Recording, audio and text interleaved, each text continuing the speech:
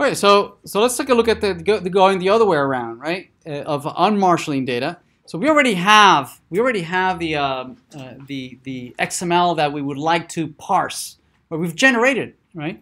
So what I'd like to be able to see is that can we parse the same exact uh, data that I've just generated, right? I should be able to just read it back into uh, into uh, memory, right?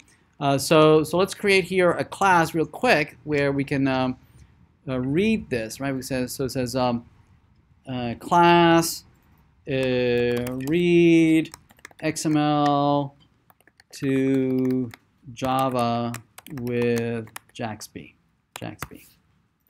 And let's put a main there. So this is the same exact code that, that we would want uh, before. We would uh, create a, a, uh, a JAXB context, right? Uh, which we need to load. And we also need to catch any exceptions. And we need to bring the students class, although we don't, I guess we don't need to import it because we're in the same package. Uh, once we have that, uh, we create, instead of creating a marshaller, we create an unmarshaller. so here's the unmarshaller. Let's uh, load that from our JAXB. Uh, and let's load the file where we're going to read it from.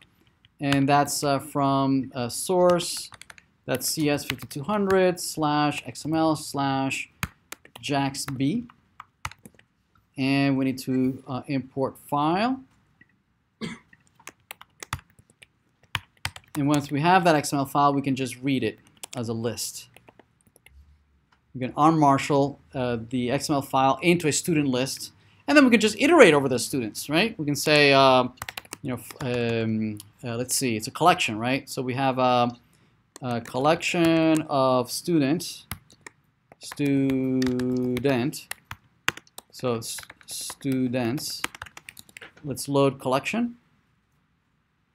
Let's import collection. Uh, and this would be student uh, list, student list dot get student, which returns a collection of students. Uh, and then we can just iterate over this, right? So iterate, iterator, iterate over, do, do iterators need to be generalized? Students, right? Uh, so this is uh, students dot iterator, iter, where's the iterator? Oh, there it is. And then we just iterate over this, right? Uh, iterator, import. I could have used for each, right? Yeah. Do they have that? Uh, for a student, student in what students? Mm -hmm. uh, and we can just uh, uh, system dot out dot print, println students dot get first name. Let's just print the first name. All right, so let's read this. Let's run this as a Java app, and this presumably returns all the all the objects in the XML. All right? It's just a, the opposite, right? Going backwards and forwards. So excellent. So we have both ways to go forwards and backwards. So whatever you give me uh, in XML, whether I parse it from an API or parse it from some stream or some file, right? I can always convert it back into whatever my Java object data model I might have.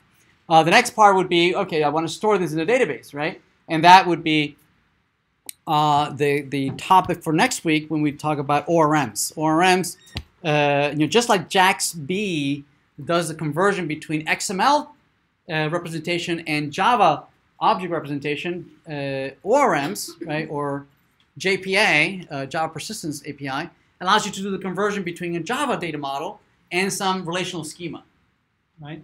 So once we have that, once we have the entire stack, you can just you, you can just convert from any representation you, you want, right? From XML to Java to uh, to relational databases, and then after that we'll talk about JSON representations, and you can convert between any any data representation you give me, right? I can always convert it from one to the other. All right, so let's let's uh, uh, take a look at the next topic.